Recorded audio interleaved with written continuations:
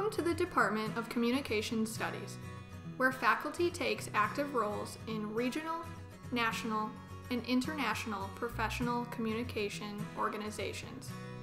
Our community of scholars sustains a rich diversity of methodological, theoretical, and philosophical interests. Our mission is to excel in teaching, research, and service. We work with more than 30 in residence graduate students, and we seek to create an environment that fosters opportunity, possibility, and creativity. Our graduate students enjoy a variety of assistantship opportunities.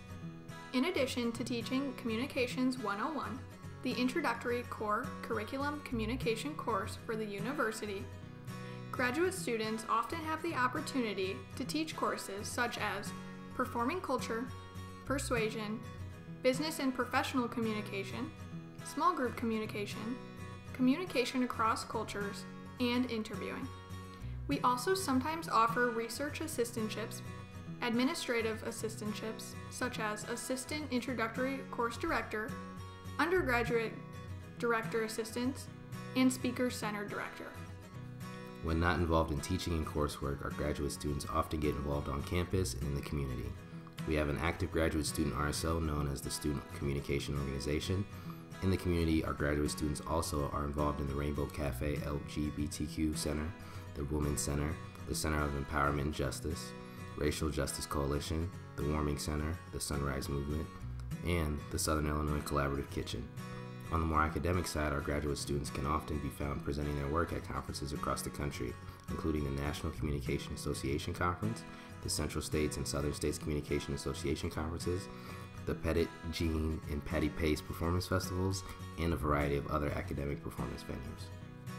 Our department also houses a performance laboratory, the Marion Kleinau Theater, for Performance Studies Scholarship, a professional seminar series, and teacher training workshops. The Marion Kleinau Theater, located on the second floor of the Communications Building, has been hosting performances by the department since the theater's founding in 1966 by Dr. Marion Kleinau. Back then, it was called the Calipre Stage, but it was renamed to honor Dr. Kleinau in 1996. When Kleinau founded the stage, she created a space for oral interpretation and group performance of non-dramatic literature. Today, the 110-seat theater continues that tradition and provides a state-of-the-art laboratory space for students and faculty to fully explore and practice performance as a method of scholarship. Both the Kleinau Theater and the department's program in performance studies create opportunities to refine skills and develop critical understandings of the role of performance in shaping society and culture. Each year, the theater hosts an active season which includes both solo and group performances in the areas of creative literary adaptations, original scripts, performance art, and ethnographic studies, among others. The Kleinau Theater is one of the most active and prestigious performance spaces in the country, drawing a diverse group of guest artists and scholars to its stage.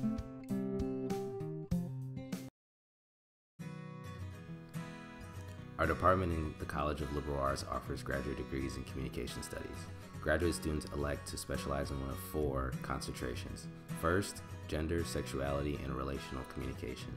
This area examines the construction and representation of gender, sexuality, and interpersonal relationships from a variety of theoretical and methodological perspectives.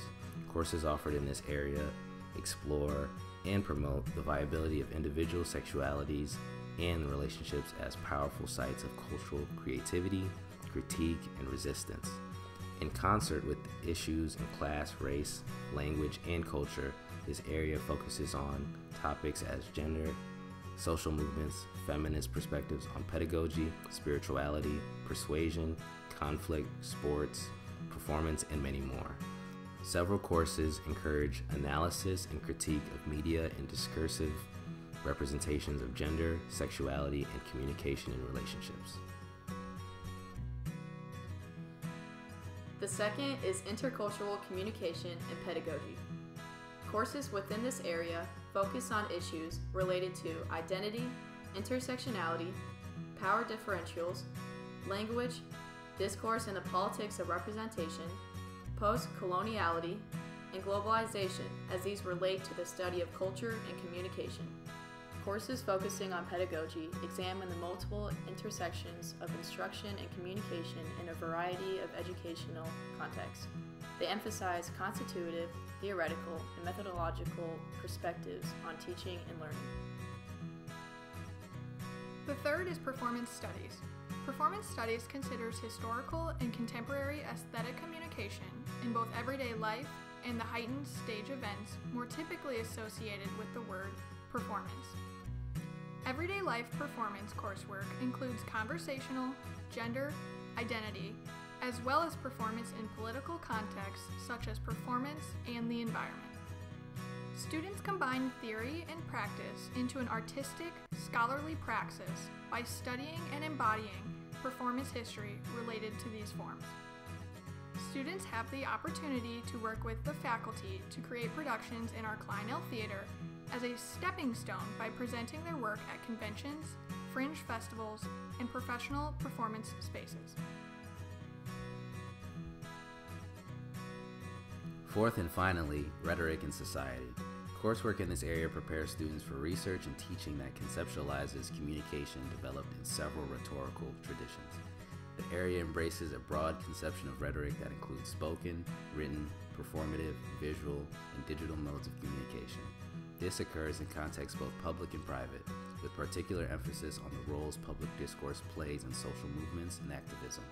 The area focuses on interest in argumentation theory, pragmatic theories of communication, the rhetoric of inquiry, cultural studies, classical and contemporary rhetoric, public address, and rhetorical criticism.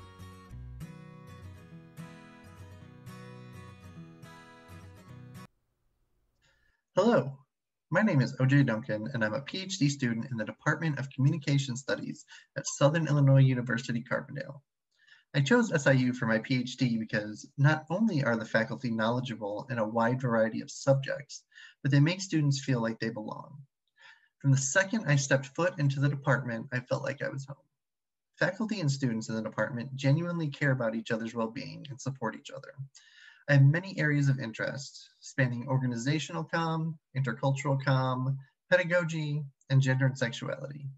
The graduate program allows me to explore all of these interests and doesn't silo me into a certain specialty.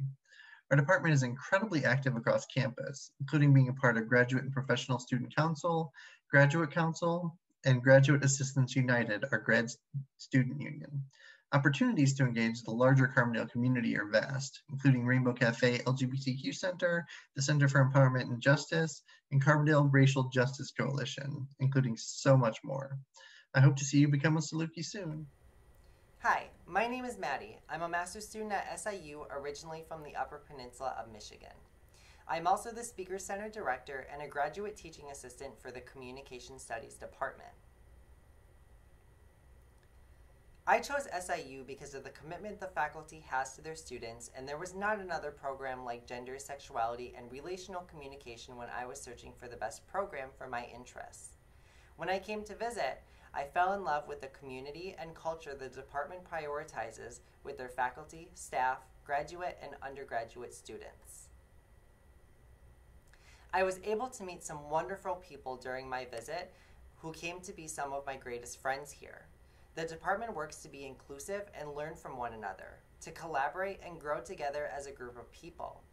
The classes are small and personal, so you get to know your colleagues and collaborate on projects, panels, and papers.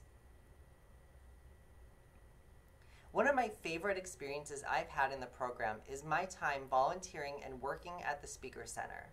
It's a great program that allows graduate assistants to further help our undergraduate students with their success.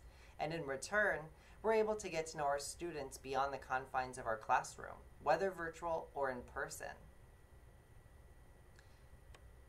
My favorite activities to do in Carbondale is to get out and take walks around the campus lake. It's so peaceful and beautiful when the leaves start to change color. Giant City Park is close to Carbondale and is another beautiful place to take a hike or walk around in any season. My favorite restaurant that I've experienced so far is definitely the Underground Public House. You have to get the Scotch eggs every time. So, where exactly is Carbondale? Carbondale is a city of 25,000 people in the southernmost tip of Illinois. This southern region of Illinois was formerly known as Little Egypt due to its geographic features, such as the Mississippi River and the floodplain similar to the Fertile Nile River Valley in Egypt. This is also where SIU gets its mascot, the Saluki, do- a dog breed originating in the Fertile Crescent region of the Middle East. What is there to do in or around Carbondale? Carbondale is located near many venues for outdoor activities, including some 14 parks in the immediate vicinity.